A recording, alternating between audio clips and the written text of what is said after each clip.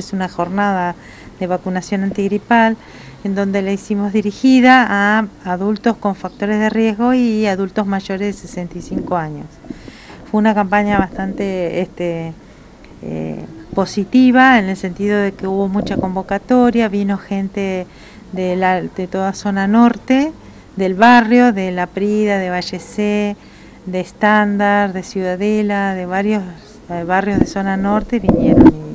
y, hemos vacunado más de 120 este, personas